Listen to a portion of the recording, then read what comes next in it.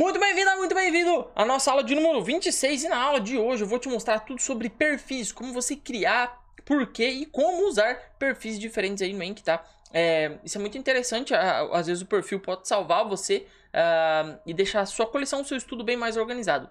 Só um aviso, se você não tem acesso a todas as outras aulas, está tudo organizado, o PDF da aula de hoje, o PDF das outras aulas, é só clicar no primeiro link da descrição, tu vai ser redirecionado a uma página muito bonitinha, e lá tu pode entrar no grupo do Telegram e usar as mensagens fixadas para encontrar o curso, em que o curso absoluto. E aí, de lá você baixa, você entra na área de membros que é totalmente grátis. E aí, é, você tem acesso a todos os materiais, todas as aulas, tudo que já está bem organizado do curso até aqui, que foram 26 aulas e contando. Beleza? Então, é o seguinte, vamos, sem mais delongas, esse vai ser um vídeo curto, tá? Primeira coisa, o que, que, é um perfil dentro do Enki? O perfil é uma outra conta que você faz dentro do próprio, dentro do próprio programa, dentro do próprio Enki, tá? É como você trocar de e-mail, sabe? Às vezes você tem um e-mail institucional lá da sua empresa e às vezes você tem o teu e-mail pessoal, na é verdade? E você tem um perfil diferente no Enki, é mais ou menos você ter um outro e-mail, você ter uma outra conta ali no Facebook, tá bom? E eu vou te mostrar aqui como é que você cria um outro perfil e por que você, é, quais são algumas as estratégias que você pode usar é, ter um perfil novo, mas é interessante que você saiba que isso é possível, tá bom?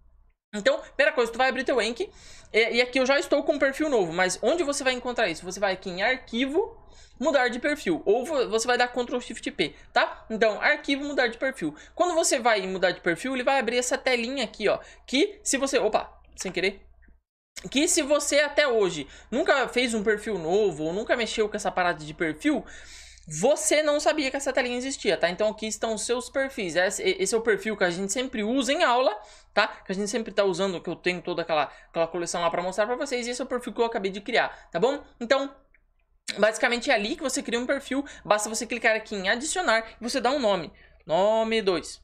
Aí, pronto, ele tem um perfil novo aí, quando você abre ele, ele abre totalmente totalmente zerado, tá? Só um daqueles erros de Gamification, o Pokémon, ele não funciona quando você faz isso, tá bom? Então, cliquei ali em mudar perfil e basicamente é isso que você faz. Deixa eu dar um bônus para essa aula também, que é o seguinte... As suas cópias de segurança aqui, ó, onde ele está dizendo aqui, ó, abrir cópia de segurança, é basicamente é, um backup. Quando você, clica, quando você clica aqui, você vai é, para os seus backups se você tem algum backup. Deixa eu clicar nesse aqui do aulas e abrir cópia de segurança, ele vai deixar. É, ele vai pedir para eu substituir, é, ele vai substituir minha coleção por uma outra é, por uma cópia de segurança, por um backup de segurança, tá bom? Se você é, tem um perfil que você sempre usa, tá sempre usando ele e tal, quando você clicar aqui, ele vai fazer o seguinte, ele vai abrir uma pasta com vários dos seus backups, tá bom? Então, basicamente aqui, ó, você tem os seus backups, tá? Nesse, nesse abrir cópia de segurança, ele vai abrir o teu perfil com uma, com uma, com um dos backups que ficou salvado no teu computador, é... E aí você vai ter acesso a todos os outros backups também. Se você faz revisões regulares, basta você clicar aqui, tá bom? Então, basicamente, para você acessar um backup teu, você vai ter que clicar arquivo, mudar de perfil e você vai abrir aqui embaixo, nos botõezinhos aqui, um backup, tá bom? Então, basicamente é isso que você faz. Como você pode ver, eu não tenho... Quando você cria um perfil novo, vou criar mais um, adicionar. Novo 3. Quando você cria um novo perfil, ele, ele abre o perfil zerado, né? Olha só, ele não tem nada. Ele tem os Zerons instalados, né? Aqueles Zerons que a gente, que a gente instalou. Mas olha só, o, o, o baralho, os baralhos, ele não tem nada. Ele não tem absolutamente nada, né? Ele tá totalmente zerado. Então, por que que às vezes isso é interessante? Por que que você saber que isso existe, você usar... É, os perfis é interessante. Onde isso se encaixa nessa nossa estratégia? Primeiro de tudo, se você tem coleções que são bem diferentes, é interessante você usar perfis diferentes. Por exemplo, um perfil você pode usar para estudar seus idiomas, vamos supor, ah, estou estudando mandarim. E o outro você usa para as coisas da faculdade, as coisas do concurso que você está fazendo. Não é bom você misturar coleções que são tão diferentes, que tem uma, tem uma quantidade de informação bem massiva, né? Por exemplo, idiomas, às vezes você tem sei lá, 10 mil, 20 mil cartões aí é, é, para idiomas e às vezes você tem, sei lá, uns 10 mil cartões você vem para um concurso aí que você está estudando. Então não é bom você começar a misturar muita coisa assim, porque é, você começa a ficar com uma coleção muito grande e para sincronizar no celular fica muito grande e às vezes ela fica bem desorganizada, seu que começar a ficar uma bagunça, muito deck e tal. Isso é interessante, então, é quando você tem coleções bem diferentes, cujos objetivos são bem diferentes, é bom você ter um perfil diferente. Bom, Então, é, coleções diferentes, organização para propósito de organização, isso é muito interessante. Outra coisa, você pode usar é, o perfil novo, é, outros perfis, para guardar decks importantes. Por exemplo, você baixa um deck da internet, né? Você baixa um deck que você achou interessante, que você achou bom.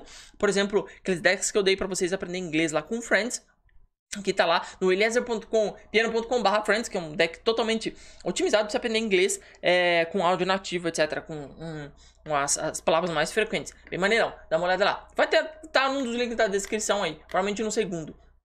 Então, às vezes tu não quer perder esse deck, né? E tu não quer ficar também, deixar ele é, no seu computador. Tu a, é, a, simplesmente cria um perfil para você guardando decks interessantes que você, que você encontra ali, tá? É, outro é para você abrir uma coleção velha. Por quê? Porque uh, no Enk você tem a opção de fazer o seguinte, quando você uh, tá aqui no teu tá aqui no teu, no teu painel, o que, que você pode fazer? Você pode é, exportar toda uma coleção. Se você clica aqui, ó, se eu não me engano é aqui que você vai exportar e exportar a coleção, quer ver? Olha aqui, ó, pacote de coleção. Então deixa eu só te mostrar pra, uh, como é que eu fiz isso. Olha só. Digamos que esse aqui seja um baralho tá? Uma, a minha coleção inteira. Digamos que eu coloquei toda a minha coleção dentro de um baralho só, tá? Que eu coloquei ela aqui. Se eu clico aqui em opções e vou em exportar, eu posso escolher uma dessas opções aqui, ó. Que está aqui, ó. E não exportar como um baralho, mas sim exportar como uma coleção, um pacote de coleções. Call APKG, tá bom? Tá escrito ó, Call APKG. E o que, é o Call APKG? Ele é uma coleção inteira e que diferente de um baralho, quando você clica para abrir uma coleção inteira, ela não se importa com, com a coleção que está aberta, ela vai sobrescrever, ou seja, ela vai deletar tudo que tem dentro do seu perfil e vai colocar tudo que tem naquela outra coleção. Então imagina que você pega um backup seu de segurança, aquele que eu acabei de te mostrar onde que é.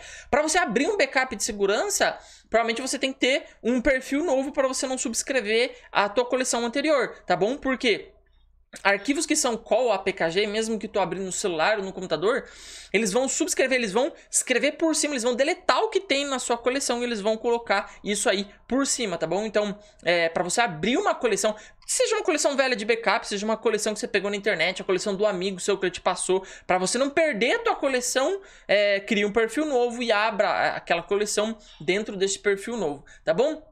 É, outra coisa, você pode também testar alguma coisa e não querer que dê pau na tua coleção, né? É, às vezes é, tu quer testar um modelo de nota nova, é, enfim, tu pode fazer um monte de testes. E antigamente eu te falava, eu te falaria que você poderia criar um banco de sentenças, mas essa é uma estratégia um pouco mais é, avançada aí no aprendizado de idiomas de criar uma um banco de sentença. Hoje em dia não vale mais a pena você criar um banco de sentença é, em outro perfil separado, porque há outros métodos de você fazer isso, tá bom? Basicamente, então, é, fica excluída essa opção aí, é, não é mais um, um modo otimizado, existem modos melhores de você fazer isso hoje em dia, tá? Então, só para finalizar essa aula aqui, um aviso. Se você cria um perfil novo, né, como eu acabei de criar aqui, né, você veio arquivo, mudar perfil e clicou aqui em adicionar. Ah, tu pode remover também, né? Clica aqui, vai hum, renomear, tu renomear ou excluir. Ele vai excluir é, todo aquele teu todo aquele teu perfil ali, tá? E todos os itens que tem lá dentro, cartão, é, mídia, áudio, foto, vai excluir tudo, tá? E aí, o que que acontece? Se você cria um, um, perfil novo, ó, eu vou abrir um desses aqui. Eu abri esse perfil novo e vou em sincronizar. Olha o que, que ele pede. Ele pede para você se registrar de novo. Por quê? Porque eu quero que tu preste bem atenção nisso aqui, ó. Nesse meu aviso daqui, ó. Cada perfil deve estar conectado a um e-mail, tá bom? Ó, cada perfil deve estar tá conectado um e-mail para ele fazer a sincronização com a nuvem do Enki, tá bom? Então não se esqueça disso. Se você criou um perfil novo, por exemplo, é, nessa, nessa opção aqui, ah, eu tenho um para estudar idiomas, outro para faculdade. Se tu tem um para estudar idiomas, outro para faculdade, então tenha dois e-mails e sincronize os dois para nuvem. Aí às vezes você entra num e às vezes você entra no outro para você estudar, a depender daquilo que você é, precisa fazer, tá bom? Mas perfil novo, tu precisa de um e-mail novo para sincronizar, tá bom? Então fica a dica aí, não espere que ele tá fazendo os seus backups na nuvem, se você não sincronizar no mesmo e-mail do outro, que não é assim, tá bom? Então coloque o perfil novo e o e-mail novo, tá bom? Eu sou o Elif por aqui, espero que tu tenha gostado dessa aula, é, eu te falei tudo sobre criação e por que você deve usar um perfil novo. E é bem interessante você saber que isso existe. Isso aí é, pode te salvar um, é, mais pra frente. Às vezes você quer testar, quer pegar alguns baralhos. Por exemplo, eu às vezes eu baixo alguns baralhos da internet, principalmente para mandarim, e os baralhos. 99% dos baralhos que tu acha na internet é uma porcaria, né? Um lixo total. Aí os baralhos vêm com tag, vêm com tipo de nota, vem, mas olha, vem uma lixaiada total. E pra eu não estragar o perfil que eu tenho, eu abro em outro perfil para dar uma olhada, ver se tem alguma coisa útil. Beleza? Essa foi a aula de hoje. É, eu sou o por aqui. Que Deus te abençoe.